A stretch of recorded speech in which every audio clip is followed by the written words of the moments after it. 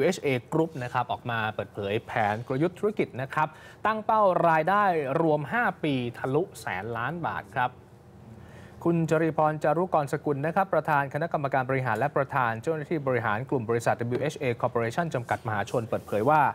WHA ครับได้มุ่งต่อยอดพันธกิจ V-Shape the Future เสริมศักยภาพทั้ง 4 กลุ่มธุรกิจให้แข็งแกร่งแบบครบวงจร ตั้งเป้าหมายก้าวสู่การเป็นเทคโนโลยีคอมพานีในปี 2567 ภายใต้ภารกิจ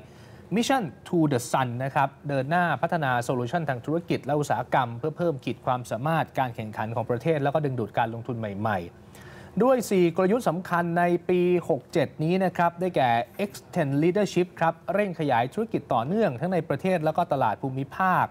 Embrace Innovation and Technology ครับนำเทคโนโลยีมาสร้างสารรค์ธุรกิจใหม่ๆ ที่เป็น New S Curve ให้กับองค์กร Enhance the uh, prominence on green and sustainability เพื่อบรรลุเป้าหมาย ลดการปล่อยก๊าซเรือนกระจกให้เป็นศูนย์ในปี 2593 แล้วก็ Build High Performance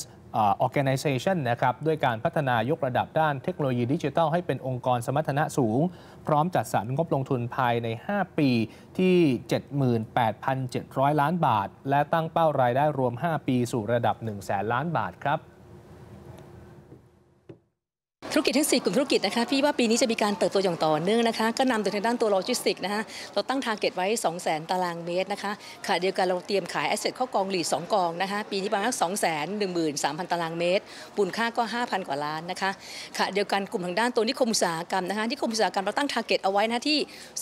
2,275 ไร่นะคะแต่เดี๋ยวมาดูกันว่าครึ่งปีหลังเราจะมีการปรับเป้าอีกหรือเปล่านะคะธุรกิจทางด้านตัวน้ำและพลังงานนะคะพลังงานเราตั้ง target ไปถึง 1,000 เมกะวัตต์ในปีนี้นะคะทางด้านตัวดิจิทัลแพลตฟอร์มของเรานะคะก็จะมีทางด้านตัว business ใหม่ๆ ที่มันเกิดขึ้นจากภาพตรงนี้ขึ้นมาค่ะ พี่ได้มองภาพว่าตัวเลขในปีนี้ของเราน่าจะมีการเติบโตมากกว่า 2 ดิจิตค่ะ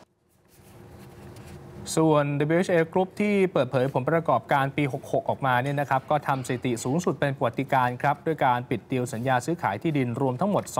2,767 ไร่ และพื้นที่เช่าโครงการโรงงาน และคลังสินค้าสุทธิ 242,000 ตารางเมตร คาดว่ามีรายได้รวมและส่วนแบ่งกำไรปกติ 17,200 ล้านบาท เพิ่มขึ้นจากปีที่ผ่านมา 11%แล้วก็รักษาระดับอัตรากำไรหรือว่า EBITDA ที่มากกว่า 40%ครับ